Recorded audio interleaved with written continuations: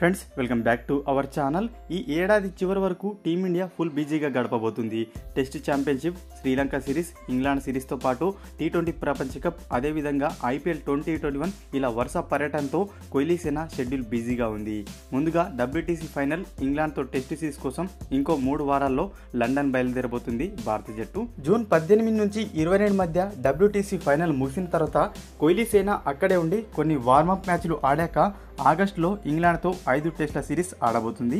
అయితే ఇంగ్లాండ్తో test series ముందు జూలైలో team India T twenty one day series కోసం శ్రీలంకలో పర్యటించబోతున్నట్లు సౌరవ్ గంగులీ స్పష్టం చేశారు. అయితే అయితే ఇంగ్లాండ్లో ఉన్న కోహ్లీ సేన మధ్యలో శ్రీలంకలో ఎలా పర్యటిస్తుంది అనే సందేహం ఉండడం సహజమే. అయితే శ్రీలంకకు వెళ్ళబోయేది వేరే భారత జట్టని సమాచారం. ఇంగ్లాండ్ పర్యటనలో భాగమైన ఆటగాళ్ళను మినహాయించి పరిమిత ఓవర్ల క్రికెట్ స్పెషలిస్ట్తోనే భారత జట్టును ఎంపిక చేసి శ్రీలంకకు పంపబోతున్నట్లు తెలుస్తుంది. గత ఏడాది శ్రీలంక భారత జట్ల మధ్య సిరీస్ జరగాల్సి ఉన్నప్పటికీ కరోనా మహమ్మారి కారణంగా వాయిదా పడడంతో జూలైలో దీన్ని మనకు షెడ్యూల్ చేసినట్టు తెలుస్తుంది. ఇక శ్రీలంక పర్యటనలో భారత్ ఐదు టీ ట్వంటీలు మూడు వన్డేలు ఆడబోతుంది.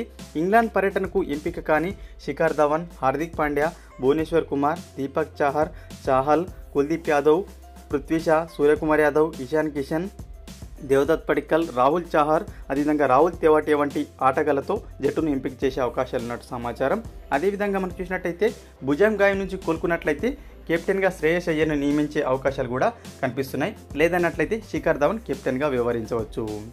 ఫ్రెండ్స్ ఈ వీడియో నచ్చితే లైక్ చేయండి షేర్ చేయండి. మరొక క్రికెట్ అప్డేట్తో మీ ముందుంటాను ఫ్రెండ్స్.